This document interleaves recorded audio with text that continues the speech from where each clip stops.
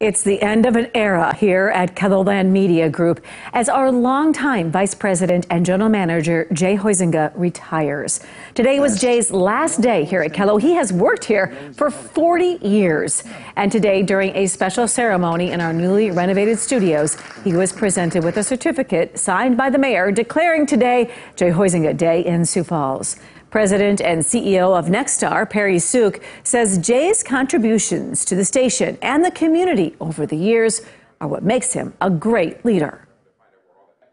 Jay is uh, the kind of general manager that we want active in the community, known in the community, known in civic and charitable organizations, and with our sponsors, and and that's what we uh, what we think success looks like for a, a local general manager. Jay says he's looking forward to retirement and hopes to spend a lot more time with his family and friends. Now, tonight on Eye on KELOLAND, we will take a closer look at Jay's legacy after four decades with Kelo. That's at 10.